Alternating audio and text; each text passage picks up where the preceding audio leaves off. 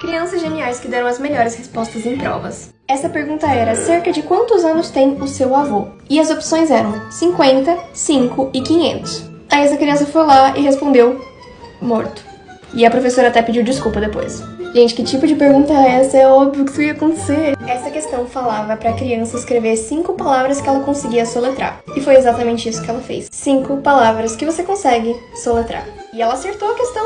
E ainda recebeu um elogio. Essa prova tinha questão de qual era a diferença entre 8 e 6. A ideia é que a pessoa fizesse a diferença entre 8 e 6, ou seja, 8 menos 6, 2. Mas a resposta foi 8 é todo curvado e 6 não é. É a diferença entre os dois números. Essa prova aqui perguntava o que, que acabou em 1896. E a criança respondeu 1895. Tá errado? Não tá errado. Não esquece de me seguir para mais.